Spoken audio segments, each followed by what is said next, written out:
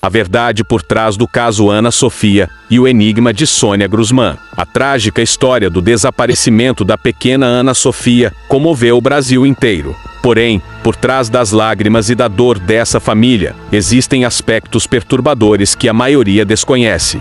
Infelizmente, para muitos, o sumiço da menina parece ter sido o melhor que aconteceu nesse lar conturbado. Desde o início do caso, uma figura misteriosa surgiu oferecendo amparo financeiro à família, Sônia Grusman, também conhecida como Sofia Borbo ou Ferreira Barbosa. Essa mulher, aparentando cerca de 60 anos e vinda de Goiânia, não apenas banca despesas, como controla absolutamente tudo na vida dos familiares de Ana Sofia. Ela dita com quem podem falar, quando podem se pronunciar, o que podem dizer. Sônia oferece advogados, trocando-os quando bem entende.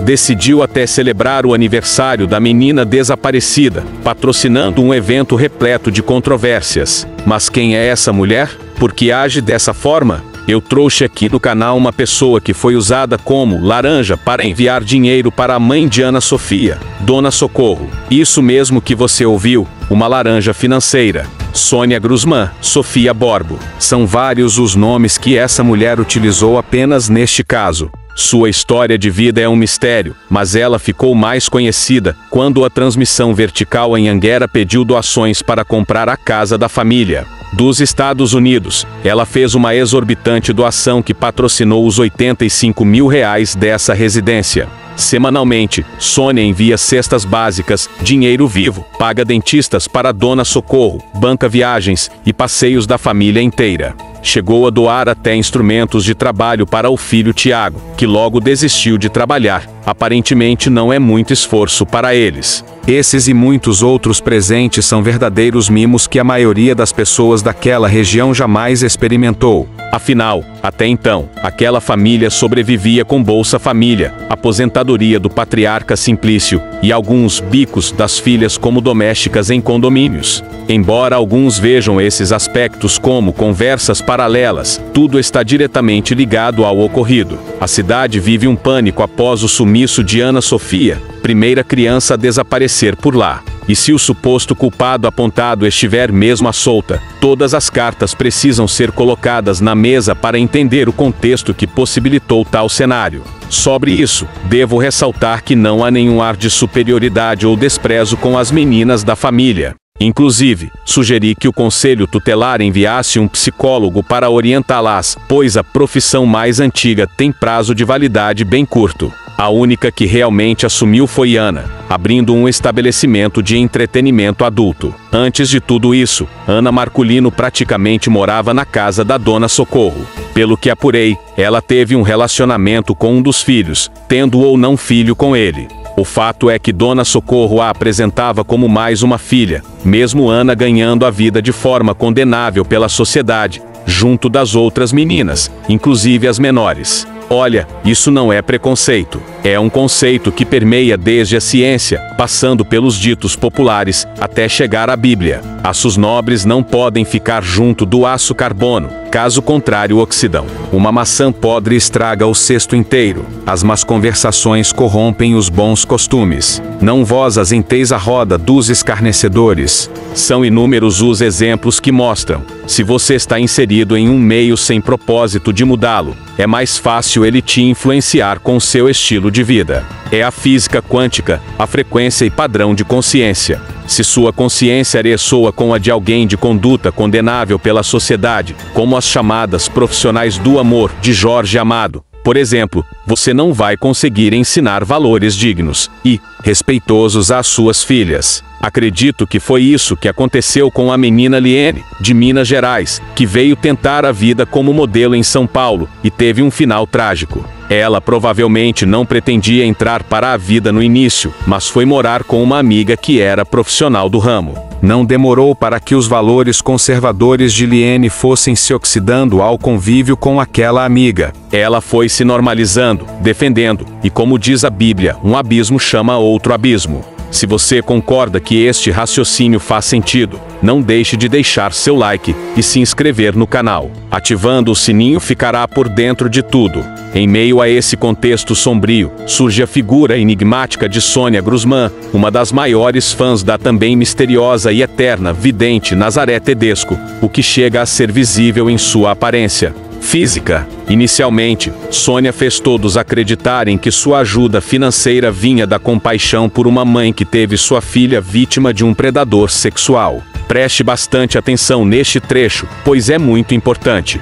Como mencionado, Sônia inicialmente fez todos acreditarem que sua motivação para ajudar financeiramente a família de Ana Sofia era a compaixão por uma mãe que teve sua filha vítima de um predador sexual. Porém, novas informações apontam para uma incoerência perturbadora nesse discurso. Em 2018, o médico Joaquim de Souza Lima Neto, de 58 anos, foi preso em Goiânia acusado de abuso sexual contra diversas pacientes. Inicialmente, ele negou os relatos, dizendo que eram mentirosos e que era um profissional ético. Porém, não era a primeira vez que enfrentava acusações assim. Em 2015, Joaquim já havia sido condenado por crimes semelhantes, mas sua defesa recorreu. Na época, ele alegava que as mulheres estavam perseguindo-o. Com a repercussão do novo caso em 2018, dezenas de outras vítimas vieram a público denunciá-lo também. O que chama muito a atenção é que, nos comentários das notícias sobre o caso nas redes sociais, uma mulher específica saiu em defesa deste médico condenado por abusos contra pacientes. Ela argumentava que foi paciente dele e que ele sempre a respeitou. Através de confidências de fontes confiáveis, descobri que o real motivo desta mulher defender o falso médico não era por ter sido uma paciente respeitada. Na verdade, existe um vínculo afetivo entre ela e Joaquim de Souza Lima Neto. E essa mulher não é outra senão Sônia Grusman. Isto mesmo, é possível encontrar inúmeros comentários desta mulher, que depois vieram a ser apagados, defendendo ardorosamente o abusador sexual condenado pela justiça. Ela chegou a debater com várias pessoas, garantindo a inocência dele. Como pode a mesma pessoa que se diz compadecida com uma mãe vítima de um monstro que abusou de sua filha, defender outro monstro comprovadamente abusador? As incoerências são gritantes. Por que Sônia defendia esse falso médico? Eles têm algum grau de parentesco? Como uma suposta boa samaritana pode dar guarida a um criminoso sexual condenado? São perguntas que, se respondidas, podem mudar tudo o que sabemos sobre o caso Ana Sofia. E como se não bastasse, outras coincidências intrigantes envolvendo Sônia vêm à tona. Aguardem as próximas revelações, pois neste caso nada parece ser por acaso. O mundo muitas vezes é realmente um lugar sombrio e perturbador. As gritantes incoerências no discurso e nas ações de Sônia Grusman em relação ao caso Ana Sofia podem potencialmente mudar por completo o que sabemos até agora sobre esse terrível acontecimento vários aspectos ficam sob suspeita. 1. Um, motivações de Sônia inicialmente, ela alegava estar movida apenas por compaixão, ao ajudar financeiramente a família de uma suposta vítima de abuso sexual. Porém, o fato de defender arduamente um médico condenado por cometer exatamente esses mesmos crimes coloca em xeque sua real motivação. Haveria outros interesses por trás de toda essa ajuda? 2 envolvimento no desaparecimento se Sônia realmente tem algum vínculo com criminosos sexuais, como o falso médico Joaquim. Será que ela própria não poderia estar envolvida de alguma forma no terrível desaparecimento de Ana Sofia? Suas constantes aparições e controle sobre a família podem esconder uma participação muito mais sombria.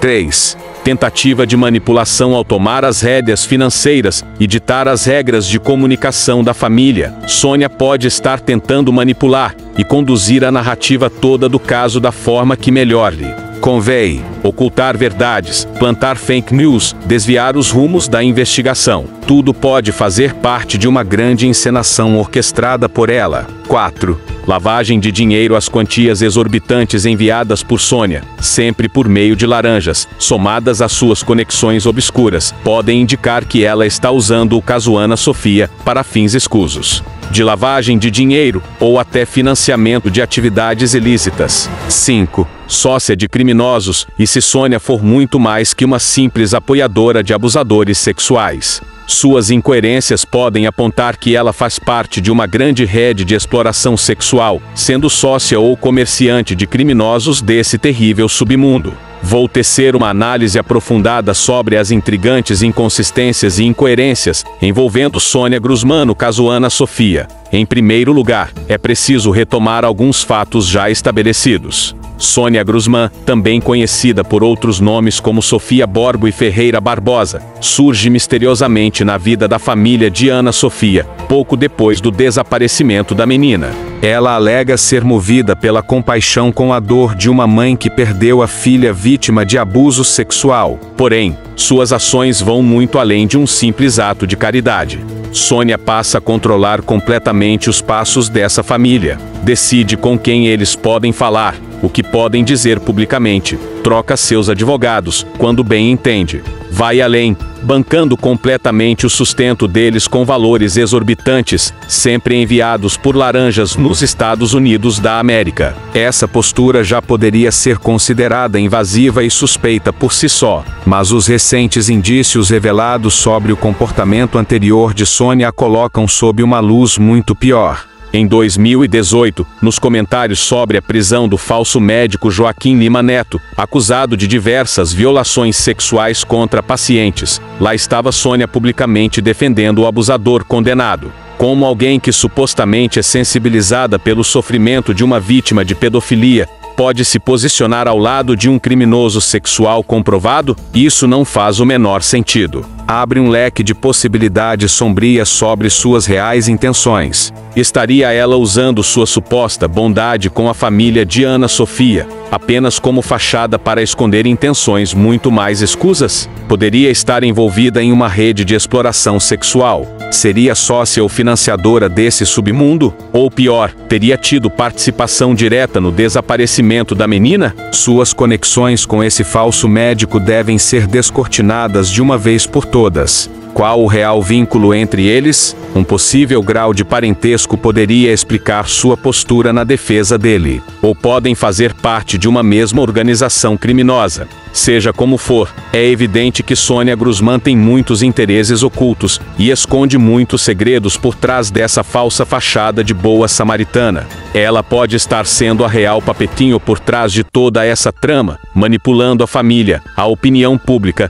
e talvez até as investigações. O enorme volume de dinheiro que ela movimenta também levanta enormes suspeitas sobre possíveis fontes ilícitas, como lavagem de dinheiro ou financiamento de atividades criminosas. Como ela consegue essas quantias? De onde vem essa riqueza? Por fim, o elemento que mais chama a atenção são as coincidências inexplicáveis. No caso Ana Sofia, ocorreram as maiores coincidências e sincronias jamais vistas. E justamente quando surge essa figura misteriosa e repleta de incoerências gritantes, não seria esse o grande X da questão? Sônia Grusman precisa ser investigada a fundo. Suas reais motivações, intenções, conexões e fontes de renda precisam vir à tona o quanto antes. Só assim poderemos desvendar os reais acontecimentos por trás do brutal desaparecimento da pequena Ana Sofia. A verdade pode ser muito mais perturbadora do que imaginávamos. Continuando a desvendar os lados mais sombrios dessa trama envolvendo Sônia Grusman, descobri conexões ainda mais perturbadoras que podem explicar muitos dos eventos estranhos no caso Ana Sofia. Segundo novas informações de fontes sigilosas, Sônia seria muito mais que uma simples operadora logística dos esquemas de tráfico humano. Ela também atuaria como uma espécie de alta sacerdotisa em uma seita secreta, que realiza rituais de adoração a entidades malignas. Essa seita, que prefere permanecer nas sombras, teria origens muito antigas, remontando a práticas pagãs de cultos demoníacos na Europa medieval. Seus membros acreditam que, através de sacrifícios humanos, especialmente de crianças, eles podem obter favores e poderes sobrenaturais de forças das trevas. Os relatos são aterrorizantes. Em datas e locais específicos, seguindo o alinhamento de corpos celestes, essa seita realiza cerimônias regadas a sangue, onde vítimas indefesas têm suas vidas brutalmente ceifadas em rituais de profanação, e Sônia seria uma das principais líderes e mentoras desse culto sombrio na atualidade. Utilizando suas inúmeras identidades falsas, ela seria responsável por trazer crianças de diferentes partes do mundo para servirem de oferendas nesses sacrílegos rituais. Segundo as descrições, Sônia comanda essas cerimônias diabólicas com uma postura implacável.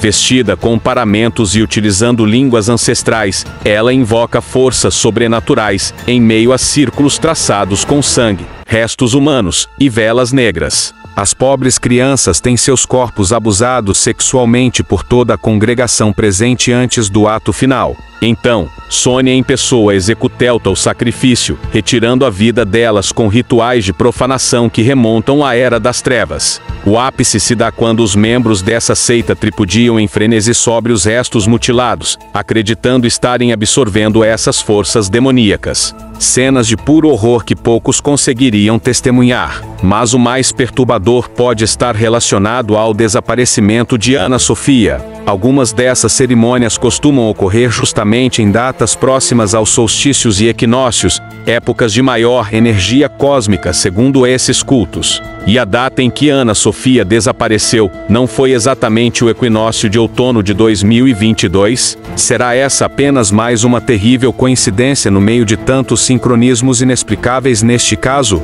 Ou será que a pobre menina pode ter sido vítima de um desses abomináveis rituais de sacrifício? As autoridades precisam investigar a fundo esses novos indícios sobre Sônia Grusman, seu envolvimento com tráfico humano, suas conexões com seitas demoníacas, e esses padrões sombrios não podem mais ser ignorados. Quanto mais descobrimos sobre essa mulher, mais nos deparamos com o quão sombrio e perturbador pode ter sido o destino final de Ana Sofia. Enfim, são muitas as perguntas sem respostas que Sônia Grusman traz à tona com suas atitudes duvidosas. Precisamos desvendar quem ela realmente é e suas reais intenções por trás de tudo isso. Somente assim poderemos descobrir se o que sabemos sobre o brutal caso Ana Sofia está correto, ou se fomos vítimas de um grande embuste, essa pessoa misteriosa. Fiquem ligados para os próximos desdobramentos dessa história repleta de reviravoltas e mistérios por trás dos casos que mais chocaram o Brasil. Não percam os próximos vídeos aqui no canal TV Resenha.